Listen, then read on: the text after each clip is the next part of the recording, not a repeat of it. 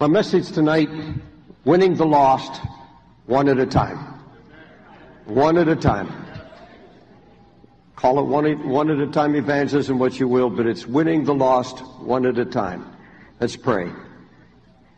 Lord, I thank you the way you've been leading this church. You're leading us out to the streets again. You're leading us to the lost. Lord, we thank you for a, a full church. We thank you, Lord, for an overflowing church. Thank you for all the souls. Thank you for the water baptisms. Many, many coming, being baptized and saved and healed and you've been meeting the finances, you've been blessing. But oh God, we have a city here that's lost and going to hell. We have, we have a church here, Lord, so full of energy, of people ready to do something. Oh God, lead us, direct us, give us your mind, Holy Ghost. Teach us. Lord, uh, Pastor Carter uh, gave us a wonderful word Sunday afternoon on this, and we continued along those very lines to this evening. Lord, you're saying something to us. You're leading us. Uh, Lord, I'm asking that everybody that calls Times Square Church their home to hear this tonight and let it be meat and let it be life and let it be changing to us, life changing in us, we pray. Make every one of us soul winners. In Jesus' name, amen. Now, we've been praying in this church for a number of weeks now that the Holy Ghost would show us how to reach this city of this greater metropolitan area of over 17 and a half million people. Think of it. The majority of them going to hell. Absolutely lost, living in darkness. I live on the 30th floor over here a block away. And there's hardly a night that I don't look out over Midtown and Lower Manhattan. I can see all the way down to Statue of Liberty. And I tell you, I've spent many times weeping and crying. I look out the window and say, Oh God, look at these skyscrapers. In, in some of those uh, units, five or six skyscrapers, there can be as many as 30, 40,000 people living in those few buildings. And I say, Oh God, they look like tombstones to me. They're beautiful buildings, but these people are dying. God, how do we reach them? Even folks uh, there's probably five, six thousand that, repres- uh, that worship in this church now, but folks, that's just a, a cupful out of this city. It's incredible. And we have to have the leading of the Holy Ghost. God has to give us ways and means He has to teach us how. And I've come to believe that when we really get the mind of the Holy Spirit, His, His methods are not going to be expensive, that puts us in the hole financially. It's not going to cause a lot of sweat where people are running around trying to figure things out. And it's not going to be complicated. And finally, it's going to be something every single believer can be involved in. Not just a handful, but everyone. Simple, uh, inexpensive, and, and, and not complicated, and no sweat involved. I mean human sweat. Doesn't mean that we don't work hard, but human sweat is not involved. And when the Holy Ghost teaches or speaks, He always points to Christ. We'll begin to pray about how to do anything. The Holy Ghost, when He comes, He's not going to just give us direction. He's going to point us to Jesus. That's why He's here. And He's going to tell us, look at the life of Jesus. Look at how He did things and try to follow in His example. Now, I, am going to do that tonight. Uh, we're going to study the Lord's methods of evangelism, one on one evangelism.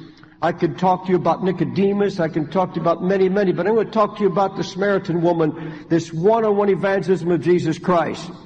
But first let me tell you, there is a place for mass evangelism. I was involved in mass evangelism for many years. I've traveled crusades all over the world. As many as 50,000 people at a time in South America and other countries. I'm, I'm not against evangelism on television or radio uh, literature evangelism. But folks, let me tell you something. All of these methods are so impersonal. There's not the personal contact. The, the people don't have an opportunity to unburden their heart. There's nobody to talk to. It's not personal. And the Lord is going to show us tonight the importance of personal one-on-one evangelism. This is the greatest need, I believe, in the nation and in this city especially. Do you know that these uh, I listen, I don't have television, so I listen to the radio when I'm in a car. And, and I was listening the other night to someone, I think she called herself Dr. Laura or something. And, and uh, the calls that were coming in there, even from young people, and just unburdening their heart. And, and they say that these, these call-in radio programs were absolutely inundated. They're, they can not even handle the calls enough, and people are frustrated and just want somebody to talk to. In fact, there's a, a, a there's a commercial now on radio and says, "Do you need somebody to talk to? We have counselors." And you call, it's $45 for the first half hour, and then so much on down the line. And they are swamped. They can't handle the calls even at $45 a clip. You see, people want to talk to somebody. This city is so impersonal, there's nobody to talk to, no one to unburden their, their hearts to. You say, well, let them tell it to Jesus. Well, how can they tell him to Jesus, tell it to Jesus when they don't know him? They can't talk to Jesus like you can, like I can. When I first came to, to New York in 1958, I weighed 115 pounds. Now, look at me. I've gained 40 pounds since then.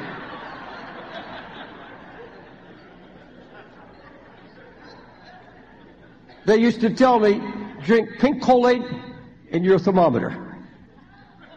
I mean, I had, I had more names called at me when I came. In fact, I think I told you when I first came the first year, uh, I had a man knock on my door. It was Mr. Universe. He was a Christian. Mr. Universe. All muscle. No neck, all muscle. And he said, are you, are you Brother Dave? And I, I said, yeah. He, he said, God sent me. He looked down at 115 pound runt. And he said, God told me to build you up and make you a muscle man so you can be effective on the streets. I looked at that monster man. I said, I said, here's what I said. I said, if I looked like you, I wouldn't last a week. They'd be challenging me. Nobody challenges me. We became dear friends, but as you see, I didn't take his advice. but when I first came to New York in 1958, I came as a broken-hearted man. I used to weep every day, and I, I bought a little motor scooter, and I would scoot all over the city. I remember coming over the Manhattan Bridge, and those ridges there would, would go like this. And I had to pray, cover the blood every time I went over the Manhattan Bridge. I don't think there's a neighborhood you live in that I wasn't there. And I would get on my knees in the morning before I left the apartment and I would say, Lord, you've got to lead me. I would go all over this city. The first few visits when I came to this city, even before I moved to the city, I, I, was thinking about it this afternoon and yesterday especially, reliving the first time that I went into a section in Brooklyn, right over the Brooklyn Bridge, between Brooklyn and Manhattan Bridge, and I went into a section there. I knew nothing about drugs, but I had a broken heart. I wanted to win people to Christ. I wanted to win gangs and drug addicts to Jesus because that's what the Lord told me to do. He sent me here to 115 pounds and a broken heart. And I remember the first witness of a group of gang members and drug, rather drug addicts. The gangs had broken up in 1958. Prior to that, there were, there were over 300 known gangs, registered gangs, or gangs that had been listed by the police department.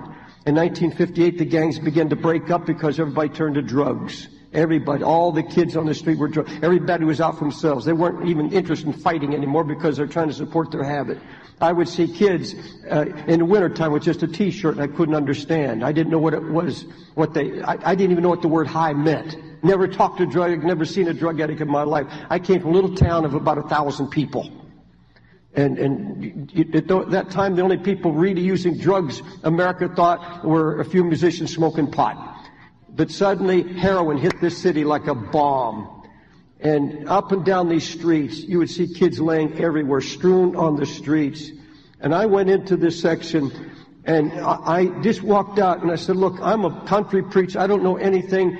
And I could see tracks on the thing and I could see them scratching and I saw glassy eyes and I presumed they were drug addicts. And I introduced myself. I said, I'm a country preacher. I'm here to talk to you about Jesus. They started calling me preach. I, I, I, go back there. But I remember one time they said, Reverend, you can't talk to us yet until you listen. Look, we're, we're sick. We need to get a fix. If you want to come up and wait till we get fixed, then we'll listen to you. I went up with five drug addicts on a, a black rooftop in, in Brooklyn, and I watched them pull out a needle, a dirty needle, and they had a Coke bottle full of cold water, and he stuck the syringe, and they had a little bottle cap, and they put a little piece of uh, felt in it into the heroin and water, and they were mixing in this little bottle cap, and they put the, a little bit of uh, felt in there. So what's the felt for? He said, well, we dry it out, and then if we can't get it fixed tomorrow, we squeeze it out and try to get at least a little bit of high. And I watched them stick the needle in a Coke bottle, swish it, and I said, what are you doing that? He said, I'm sterilizing the needle. Cold water, dirty water, he's sterilizing the needle. And I watched the first kid, we were up on the top this flat rooftop, you could look over all of Brooklyn, and I watched the first kid shoot up, and his eyeballs were yellow, he was full of jaundice. And, and his, he filled the needle with blood, then shot, got the heroin out of the bottle cap and shot, took off the rubber band and passed to the next guy. He, there was still blood in it. He mixed it and shot it in his veins, and I passed out. Literally passed out. When I came out, they had dragged me out from the stairwell, and they had all gotten a fix by now. And uh, one of them, what's the matter, preach? Couldn't take it? I said, no, no, no, that's not it. I said, I can stand blood, but I said, I can't stand dirty blood. He's got jaundice. You all going to have jaundice. They said, so what? And, and so they said, you want to talk to us? Now you talk. I, they sat in the corner scratching, getting high. And, and one of them said, Preacher, look, we don't do this now to get a thrill. We don't even take it to get high. One boy said, I take it so I won't kill myself. I've lost my wife, I've lost my kids, I've lost everything. I'm living like an animal. He said, there's no more thrill. He said, I don't like what's happening to me because I've become an animal. I don't like to steal and I don't like to plunder. Found out another said, my, my mom's a hallelujah woman. I mean, she's Pentecostal church. She prays for me. I know all about that. And I listened and I got an education. Folks, I, the Lord wouldn't let me condemn and say, you're filthy drug addicts, you're going to hell. God wouldn't let me throw a bunch of scriptures at him. The Holy Ghost said, you sit and listen and you learn. You learn their pain, you hear their heart, and you just listen. Folks, we've got so many Jesus cops anymore. We, we've got stormtroopers for Christ who go out on the streets and just storm at people and throw scripture verses like arrows that cut them. They, we don't listen to people anymore. We're not hearing what people are saying anymore. We just don't go out and just, just, just listen. I missed it yesterday, and I've asked God to forgive me because I was leaving my office down 50th Street, and I, I, walked and I was busy and I was in a hurry, and there's a kid, teenager, probably 18, 19 years old. He's just sitting on the, right outside the office, and he's down with his hand between his knees and just shaking and crying. And I, I, I thought, I gotta go sit by. I've gotta just ask him why he's crying. But then my flesh rose up you see, I'm a preacher now and I preach in a fancy church and I don't have that same burden I had when I came here. And I said, oh, he, he probably just got disappointed and he won't listen to me now. Nobody listens anymore. And I went by. And when I got down, I got so ashamed of what I had done, and, and I just went on. I missed it, and I, I felt lovingly rebuked by my Heavenly Father because I walked by a crying young man that I could have probably reached. How many of us are doing that? How many of us are not listening to people? How many are not even trying to get involved anymore? I've come to a place where I said, Lord, if I have to take two weeks off or even just do it once a week, I want to go back into Spanish Harlem. I want to go back to Brooklyn. I'd like to spend a day a week going back talking to those so I don't lose that touch. So that I'll learn to hear once again. So that, that, that we're not just sitting in God's house soaking in all the blessings and keeping it to ourselves. Folks, we're going to lose it if we don't get involved in the lives of people. I remember those kids. The Lord finally allowed me to start winning them. I remember meeting Sonny Arguinzoni. His mother, Pentecostal woman. He's under an elevated train right off that, uh, there was an elevated train that's not there anymore. And in front of a pizza shop, he thought I was a narco, a narco agent, narcotic agent. I said, no, I'm a preacher. I'm from the country. And he said, oh, you're just like my mother. She's praying for me all the time. Don't tell me she put you on me. I said, no, God, the Holy Ghost put me on you. Of course, you know Sonny Arguinzoni today is pastoring a church of 10,000 and he's got pastors all over the United States doing a great work for God.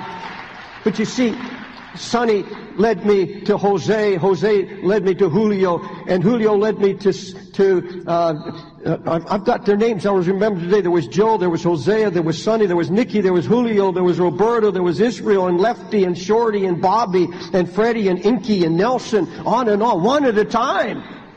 There was no mass evangelism. There were no tent meetings. There were no literature crusades. There was no citywide anything. It was one on one. A skinny preacher, 115, year, 115 pounds. I told you that four times. I won't say it again.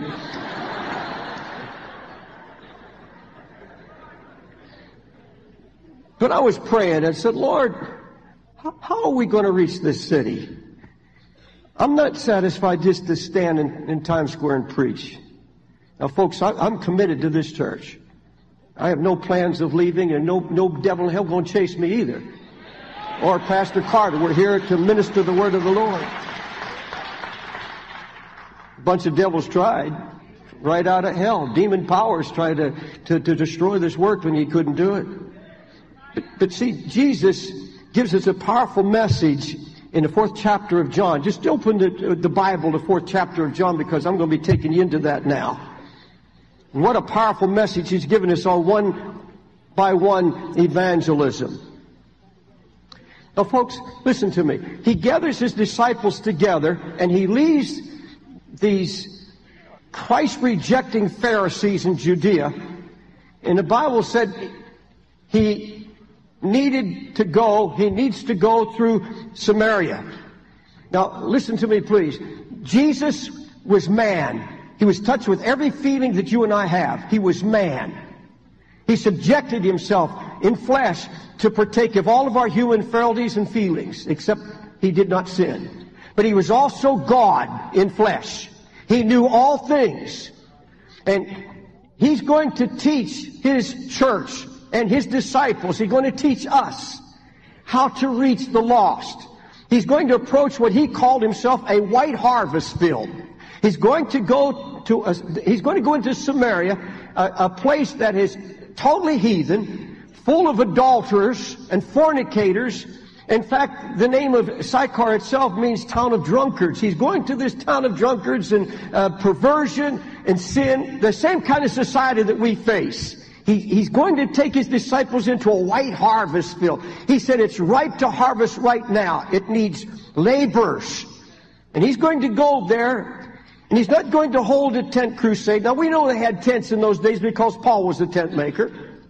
I'm not against tent meetings, not at all. Those things have their place. He's not going to send his apostles out, his disciples out, and spread the word all over. There's going to be a mass crusade in, in a local church or in, in, in a city hall. No, he's not going to send for Jerusalem for 120 workers and bring them in and blitz the city. He, he's going to be led by the Holy Ghost in a marvelous way of teaching. Now, everything Jesus did was a teaching pattern for us. Jesus never said a word, didn't do anything, but what it was a teaching for us. We're taught by his life and every word and every action of Jesus Christ. And what a wonderful thing Jesus did. And I want to take you step by step on how Jesus taught us to be involved in one by one evangelism. First thing, Jesus faces that great white harvest wholly led by the Holy Ghost. Totally led by the Holy Spirit. And he must needs go through Samaria, verse 4. Chapter 4, verse 4. And he must needs go through Samaria. A necessity came upon him. It is important, it's necessary that I go through Samaria. Now, the Holy Ghost had, had made it clear. He's God. The Holy Spirit really is the Spirit of Jesus Christ. Now, listen very closely. This is going to be totally prearranged by the Lord, by the Holy Spirit. The Holy Spirit's going to take him into a heathen nation ripe to harvest, to a people ready to hear the gospel. He's going to take him, not only there, he's going to take him into a little town called Sychar. He's going to take him to a parcel of ground where there's a well. He's going to put him there about noontime, the sixth hour of the day. He's going to put them there at a certain time, a certain place, at a certain time when humanly he's weary. And he comes into Samaria, into the white harvest field. He said himself, it's white unto harvest. Now, Jesus, the Jews did not go through Samaria to get to Jerusalem when they went to worship. They didn't go there at all. In fact, they went through an uh, uh, area called Perea. In fact, according to Hosea the prophet, Hosea 6 9, those who went to Samaria faced troops of robbers waiting at the borders and false priests who murdered and committed all kinds of lewdness. It was unsafe to go through. The Jews hated the, the Gentiles, and especially the Samaritans were the most hated of all. Jesus said, I have to go through Samaria. This is the call and the ministry and the revelation of the Holy Spirit. He is led there. He's led to a parcel of ground. In verse, in, in, in Isaiah, Isaiah 10, 5 and 6, no, no, it's not there. It, it, uh, go not into the way of the Gentiles, the scripture said, and into any city of the Samaritans enter ye not, but go rather to the lost sheep of the house of Israel. His, his going to Samaria was not in keeping with the original commission. The original commission is don't go to Samaria. But now they have evangelized the Jews, they have been fulfilled that, and now the Holy Ghost is going to teach the church, and especially the disciples, how to evangelize the heathen, how to evangelize the lost. The Holy Spirit is now ready to teach the disciples one-on-one evangelism. The Holy Spirit is going to lead Jesus. The scripture says, I'm, I'm reading verse 5 now. Then cometh he to a city of Samaria, which is called Sychar, near the parcel of ground that Jacob gave to his son Joseph. Now listen to it, please. I want to show you how detailed the direction of the Holy Spirit is. A necessity to go. And you're going to go, the Holy Spirit is leading Jesus now to a certain parcel of ground, a plot of ground. Now think of that. Out of the whole uh, countryside, miles and miles, he's going to be planted in this parcel of ground, the scripture says, by Jacob's well. Jacob's well, they said, was 75 feet deep, 9, 10 feet in diameter, and he's sitting on the diameter, perhaps, of the well. And God is going, the Holy Ghost is going to arrange that the disciples are going to go out and get food. He's probably going to leave John with him, the beloved, because John's the only one who recorded this.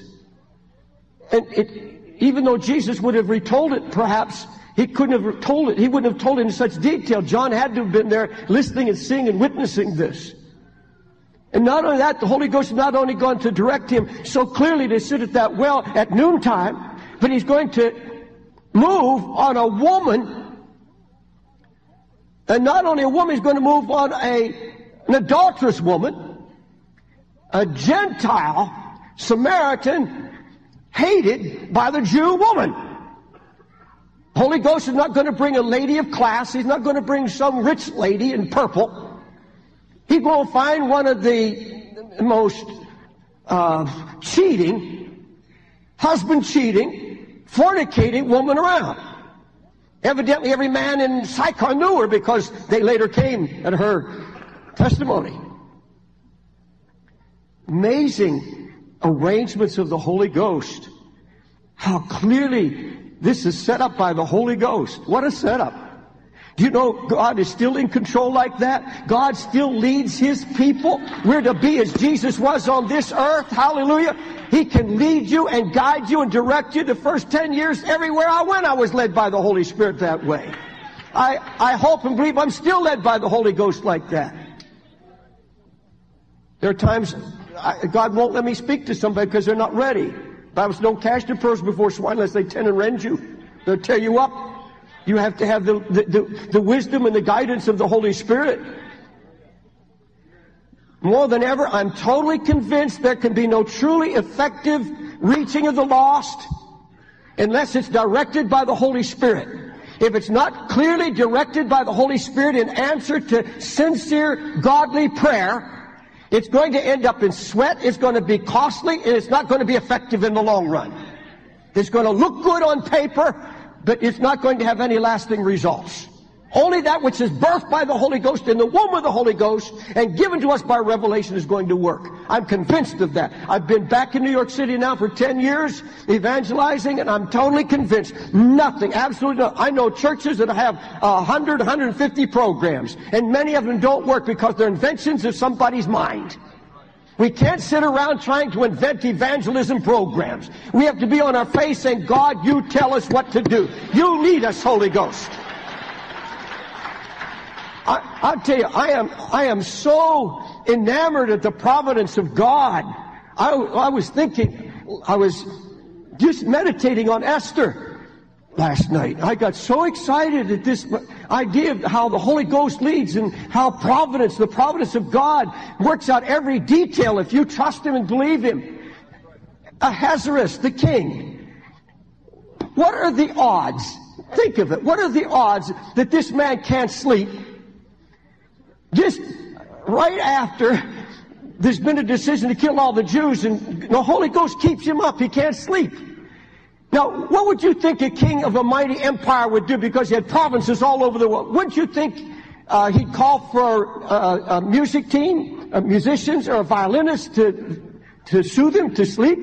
Don't you think if he, if he wanted a book, he'd call for something on botany or horses or chariots?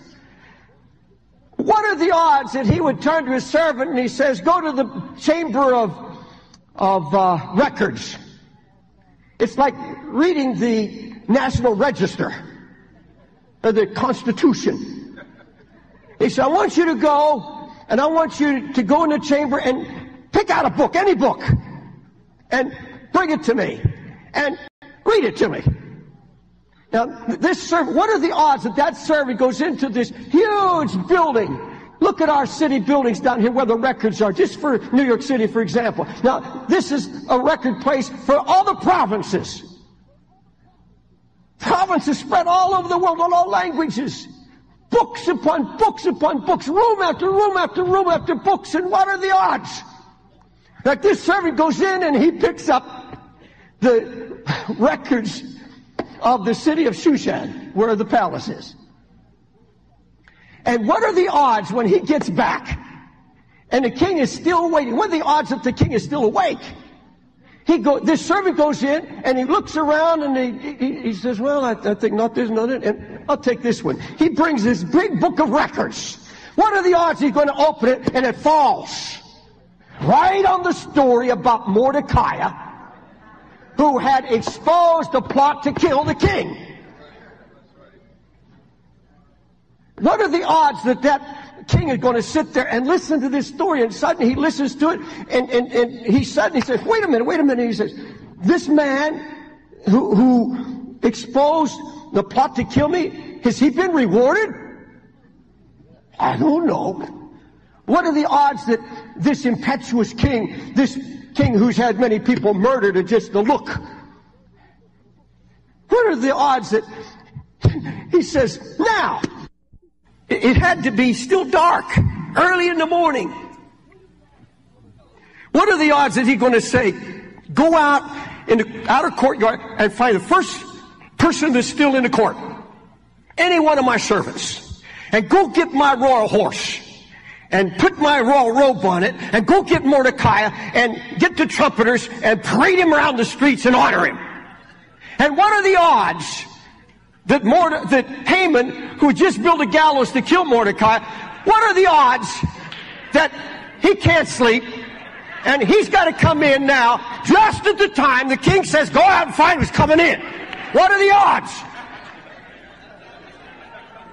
And he walks in asking, he's going to tell the king, I want to kill Mordecai. And what are the odds that he's told, would you go get the horse? There's a, there's a man I want to honor. He's, oh, I'm going to be honored. No, no, no, no, no. Mordecai the Jew. Put him on the horse. And you walk in front of the horse and parade him all over the streets. What are the odds? Don't tell me the Holy Ghost is not in charge. Holy Ghost is in charge. Hallelujah. Brother Carter, I was thinking about that last night. I got to praising God in my heart. I said, God, I'm going to trust you. Look at that. You move the hearts of men. You're in control.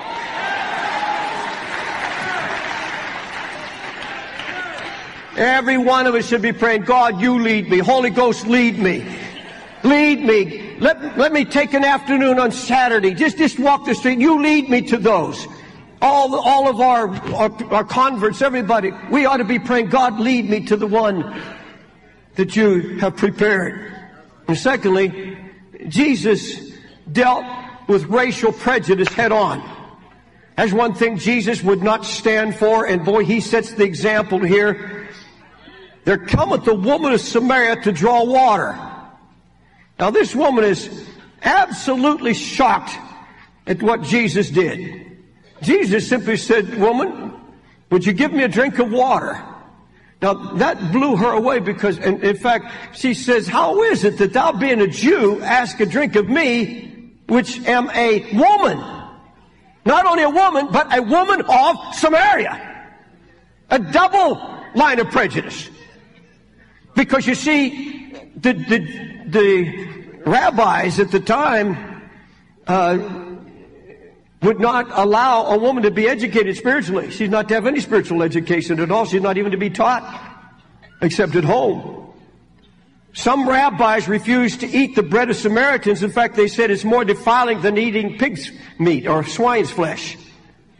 In fact, a Gentile would just walk by a priest or a Jew and his garment just swished their body. They had to go and wash their clothes because they were defiled. And of all people, they wouldn't even receive the Samaritans as proselytes.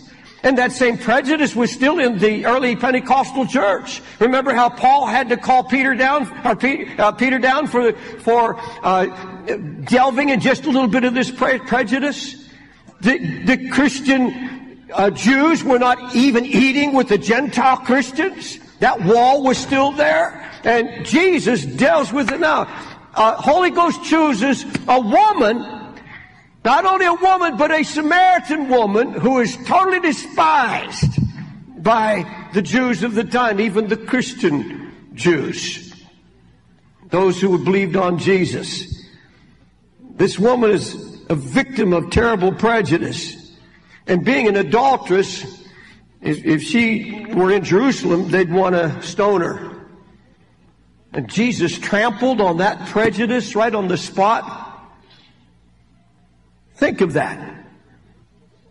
I'm going to tell you, you cannot be a soul winner if you have any, not if you have the slightest bit of prejudice in your soul. You have discredited yourself completely to being a witness to Jesus Christ. You cannot be a soul winner. If there's the slightest bit of prejudice in your heart, if you say, I'm just going, I'm white, I'm going to go speak only to white people. Or I'm black, I'm going to speak to black people. I, am uh, Mexican, I'm going to speak only to Mexicans. No. You see, when Jesus was crucified, that ended this idea, well, uh, I happen to, I, I am, uh, I am Philippine or I am Mexican or I am German or I am Finnish. I am all that. You see, all those walls were brought down. Now, listen to me now. You, you may have been born a Finn you may have been born a Mexican. You may have been a, born a Nigerian, but you were reborn as we've all been reborn.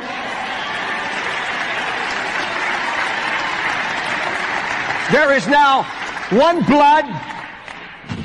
There is no color. And we are all one bone of his bone, flesh of his flesh. There's only one. One, one, one, one.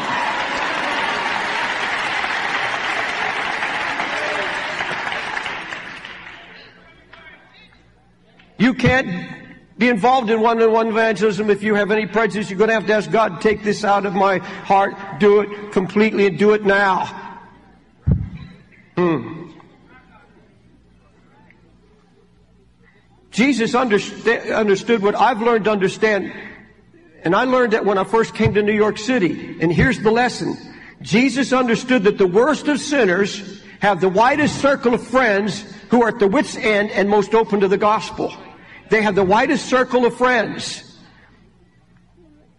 I, I, I hope you, did you hear what I said? That's where the whitened harvest field was. First of all, she had five husbands she cheated on. That's quite a circle. They may have already been remarried again. That would have been ten. And she had a husband she's living with and she's not married to. That's 11. And he had a family. I don't know how many children could have been involved. But then all of the circle of friends, because if, if, she's an adulteress, she knows every other adulteress in town because people of like sin meet other people of like sin. Just like they're doing this church, every homosexual within an hour, he knows every homosexual in the church. And he meets them. They all get together. What a circle she had. Folks, when we first came here and set up Teen Challenge, what we decided to do every Friday night, we had family night. Because when a drug addict would get saved, he'd tell his dad, mom, and brother, sister, and all of his friends, and we would have family night. And they were the most open people, ready to get saved right there. What every, especially the the, the uh, Hispanics. I mean, big families. And Friday night, we'd have as many as 30 from one family come because they're their relative, that boy, that, that nephew, whoever it was, grandma was there, grandpa, everybody. I want what he got. I want to be saved. We had hundreds saved. Have you been inviting your family to the house of God to hear the gospel? Have you been witnessing to them? Come on, all you guys, have you been telling your families? Girls? You, you get them here, we'll get them to the altar. You get them in the church. We'll, but you should be witnessing to them. Amen. One of these nights, we're going to have to have just everybody's been delivered from drugs and alcohol. Have just family night. Just get all your families in here. Hallelujah. Shall I go on?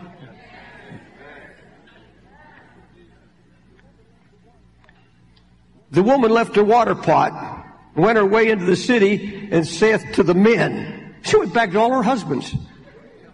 Come see a man which told me all things that I ever did. Is not this the Christ? You can imagine he had to be the Christ to know who you are.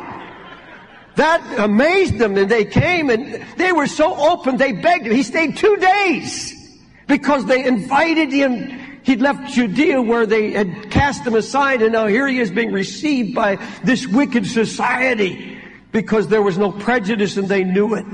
Thirdly, Jesus in his one on one ministry never condemned, but rather he offered hope and life.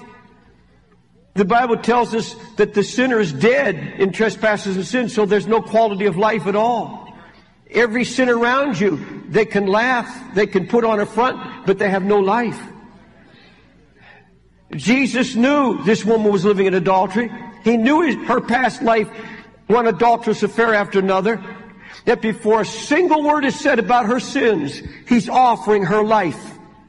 He's saying to her, if, if you just knew who I am, if you would just trust me, I'll give you water. I'll give you something to satisfy that longing in your heart. I'll give you living water. He's giving her hope. He's not condemning her. He, he's not embarrassed by her sins. Folks, if, if you find out that somebody you're dealing with is, is deep into homosexuality or deep into drugs or into alcohol, and you show some kind of embarrassment, you can't reach them. There was no embarrassment. There was nothing but love. There was no, Jesus said, neither I condemn you. Go and sin no more. He didn't come to condemn the lost. He came to save the lost. And we can't be one-on-one evangelists if we, if, if we do not, listen to me please, we can't just pound scriptures over their heads. Thank God for the Word. You know we believe in the power of the Word. But Jesus is offering her life and hope. Those of you that preach on the street, you go out there and just thunder about hell and you're just going to have people turn on you. If you're going to go out there and preach anything to this on these streets here, you talk about hope and faith and love of God for the lost. Now Jesus died to deliver them from the bondages of sin. Amen.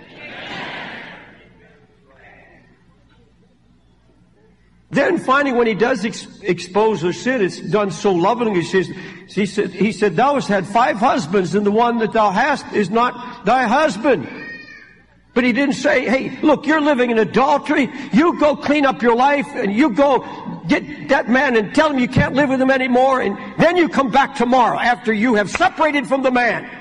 No, he knew she couldn't have any power in herself to do that until she was endued with the Spirit of God. We're demanding things from people that they can't possibly do until they're thoroughly convinced and taught.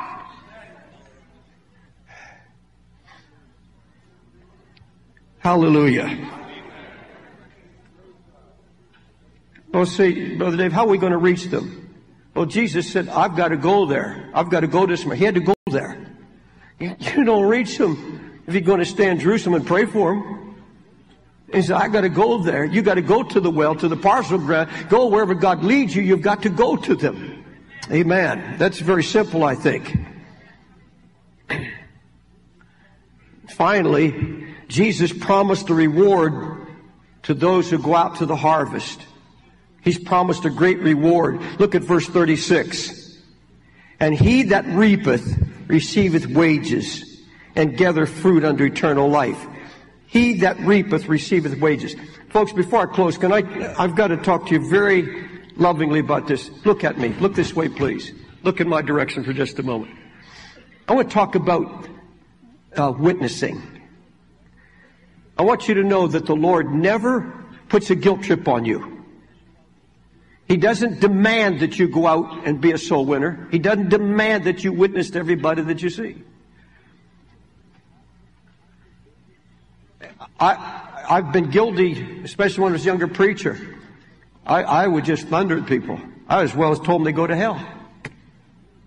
You don't get out there, and, and, and they would go out, but the people were not out there with the joy. They weren't out there as witnessing the overflow of the love that God had filled them with. It was a sense of duty. It was a sense of guilt. It was a sense of fear. And I put a lot of people under guilt. I put a lot of people under fear. The Holy Ghost began to deal with me about that. And I want you to know, Jesus is not putting anybody under guilt about, He said, there's a white harvest field, we need laborers. But He doesn't come with any condemnation. He comes with a reward. He, he says, I want to tell you what you'll get. I, he, he shows us the glory of it. In fact, the scripture says, he that winneth souls is wise. He, he's saying, behold, the righteous shall be rewarded in the earth. That's Proverbs 11.30. You'll be rewarded, the reward. And, and then he, he says, he, uh, and he that reapeth receiveth wages. The wages of joy, the same joy the angels get when they hear and see that sinners repent. The Bible says they rejoice over one sinner that repenteth.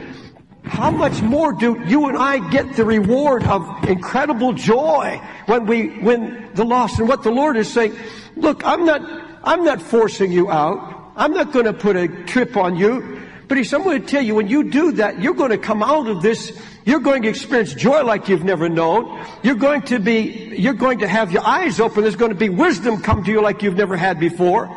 He that goeth forth weeping, bearing precious seed, shall doubtless come again rejoicing, bringing with him his seeds. How many are hearing that? How many are hearing that? Folks, Pastor Carter and I could come up here. He, he has uh, enough skill, and I believe I have enough experience that we could get up here and we could just keep pounding and pounding and pounding. Go out, win souls, witness to everybody you can, and do this, do that, and drive you. And it would be done by fear. You wouldn't come to this church with joy. There would just be a heaviness hanging over everybody. The Lord's not doing that in this. He's saying, look, if you will go out, he that reaps, you go out. It's, it's time to reap. I'll go with you. I'll lead you. I'll show you where to go. If you'll make this a matter of prayer, I'll lead you. I'm going to lead your pastors first. I'm going to lead you. He's leading us in that direction. And, he's, and folks, we want to set example. You just follow. And the Lord is saying, I'm going to give you wisdom. I'm going to reward you. I'm going to give you joy. And when you go out, you're going to come back to Times Square Church rejoicing like you've never rejoiced before. You will come back. You go out with tears. You go out with the burden of the Lord, and even those tears you can't produce. You have to let the Holy Ghost do it. And you can't really get those tears till you go out and hear the report of these people. The thing that broke my heart is I was out there and listened and heard, and that's what broke my heart. I couldn't get it just reading about them. I had to hear it from them firsthand. And, and now the Lord's coming to, to us. He's coming to me. He's saying, David, I'm not going to put a burden on you, but if you want it, I'm going to give you my burden. And I'm, I'm going to give you wisdom on how to talk to people. And I'm going to give you joy like you have never known. Folks, we, Pastor Carter and I and the staff here, we'll know when you have obeyed the Holy Spirit on this and you're witnessing and winning souls. You won't be able to sit down for a minute in this church. The whole hour of worship and praise here, you'll be so on fire. Everybody around you is going to feel it the heat of it's going to be so marvelous because you're going to be so excited about Jesus and what He's doing through you and in you. That's what it's all about. I will honor you. I will bless you. Listen to this now before closing. Why, why should we go out now for the lost souls? That both he that soweth and he that reapeth may rejoice together. Folks, this is about rejoicing. Hallelujah. This is not some heavy trip. He said, My yoke is easy, my burden is light. If you, uh, one, I know one of Brother Carter's favorite songs, I Get So Thrilled with Jesus, because he sings it every chance he gets. And I love it. That's, that's the secret. If you're thrilled with Jesus, you can't hold it in. Hallelujah. Have you heard it? Will you stand? Glory to Jesus. Now, folks, I did that in 45 minutes.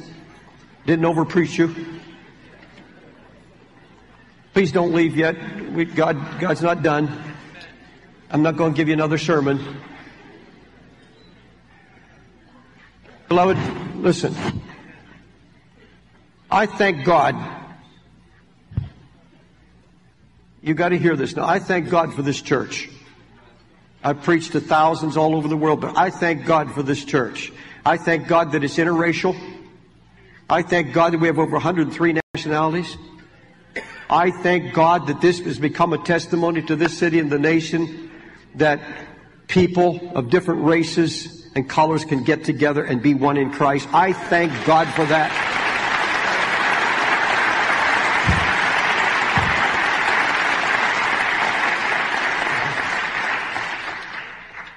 I think I can speak for Brother Carter, and I speak for myself. We've never felt more loved, respected anywhere on the face of the earth. We thank God for that respect and that love. You know that the pastors here have never tried to beat you down. We've never tried, we've never been after money. We've tried to set an example.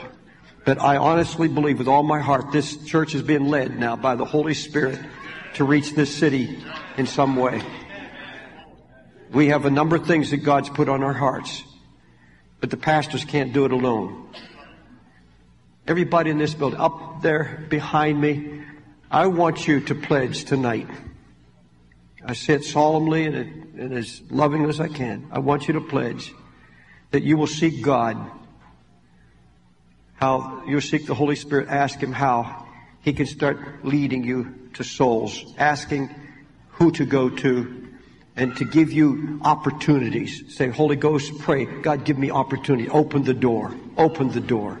And when you see somebody crying, you see somebody hurting, you see somebody in need, don't walk by. Ask God. I'm asking God to never again. God help me. I'll not do that again. I'll go to that person. I'll sit down on the, on the ground. I'll do anything to reach out. If they reject you, you've done your part. What about your families? all you, all that have been saved from sin, the witness and, and, uh, and children that you've lost, or whoever it may be, to reach out. You've got a circle. Work in that circle. I got I have a feeling from the Holy Spirit that you're going to hear more and more of this. I understand uh, Brother Carter was telling me something of what God is talking to him about for Friday night.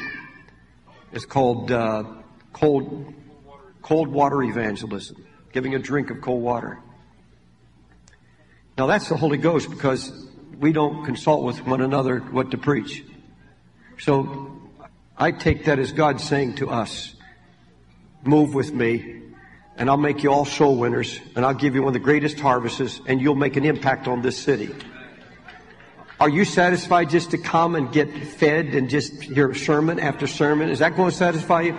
I don't think so because I know this congregation loves the Lord too much. You have the, you have the burden of the Lord like I've not seen anywhere on the face of the earth. The burden of the Lord.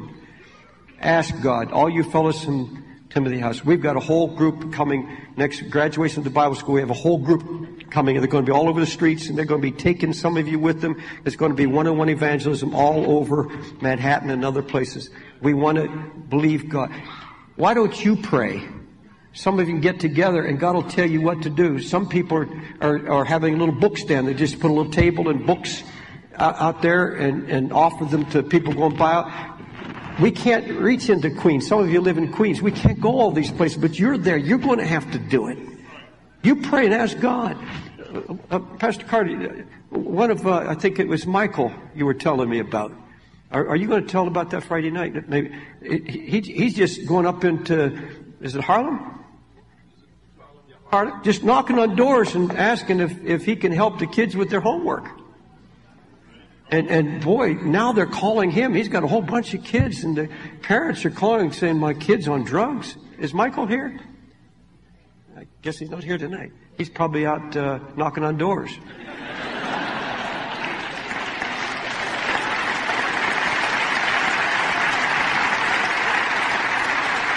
And by the way, that's the only excuse for not being here.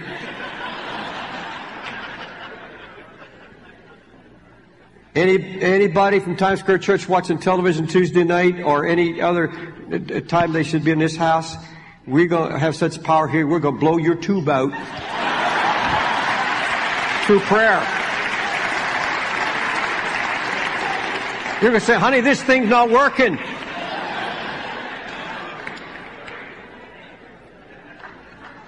Or you get so miserable. Amen. Folks, we're not trying to be facetious. We're trying to follow the work of the Holy Spirit. You know something with this, I close. To me, that's revival. To me, that's what this is all about. It's not just getting some manifestation. You know, with all of our pre- we still have some people running off, still going places. Look for it. I want to tell you, if you're going to get on a plane and go get revival, I'm going to look you right in the eye with all the love of my heart and say, why aren't you in Harlem. Why aren't you, instead of doing that, why aren't you on the street? Why aren't you winning souls? Why aren't you bringing souls in here? Don't come and tell me where you went and got a blessing until you can show me the souls that you're winning right here in New York City.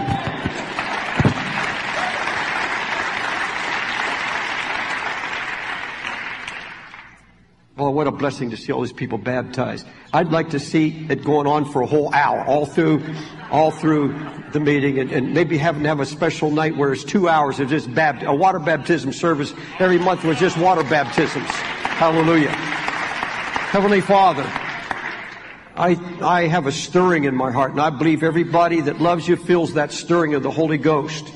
We're not trying to work something up in the flesh. It's truth that sets us free. It's truth that puts a foundation under us. Lord, there's nobody here to go under guilt or fear or condemnation. We want to stand before you, Lord Jesus, bringing fruit. Hallelujah. We want to lay fruit down at your feet. Hallelujah. And Lord, while we're here on earth, we want to have the blessing and the rejoicing of a harvest. Hallelujah. We love you, Jesus, in this church. Hallelujah. This is the conclusion of the message.